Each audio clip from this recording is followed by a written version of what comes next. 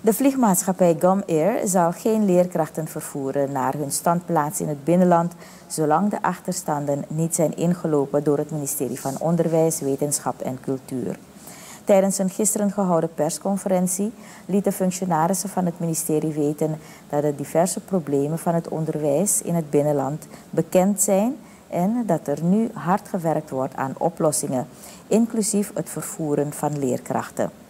Natasha Benanon, directeur administratief en technisch beheer, erkent dat de achterstand behoorlijk is. Partijen zijn elke dag met elkaar in gesprek. We zijn elke dag um, in bespreking. Het gaat natuurlijk om, om miljoenen, ik zal niet zeggen uh, honderdduizenden. En zolang zeg maar, uh, die miljoenen niet zijn weggemaakt, gaan ze niet voor ons vliegen. Het blijft een uitdaging uiteraard.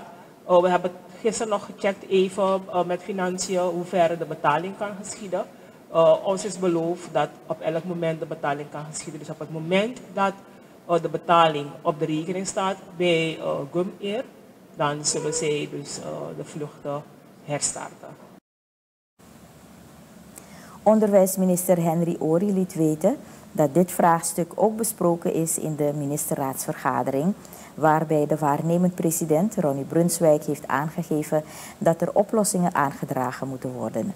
De waarnemend president heeft zelfs al voor een tussenoplossing gezorgd. Echter spelen daarbij nog andere uitdagingen. Waarnemend president uh, Brunswijk heeft uh, gebeld naar de Blue Wings voor ondersteuning en die is er.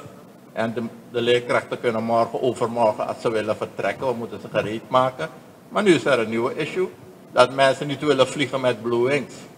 En dat is een beetje frappant, want met de Blue Wings en in niks aan de hand is bijzonder. Uh, Blue Wings is gewoon een gecertificeerde maatschappij, waar die aan alle veiligheidsnormen voldoet, de CASA's bewaakt. Maar je moet je voorstellen hoeveel moeite die regering nu De leiding van het ministerie onderstreept dat deze leerkrachten met Blue Wings naar de stad zijn gekomen. Echter weigeren ze nu naar hun standplaats terug te keren met deze vliegmaatschappij. Het ministerie begrijpt niet waarom de leerkrachten niet retour willen met de vliegmaatschappij en benadrukt dat de stagnaties niet altijd van binnen komen.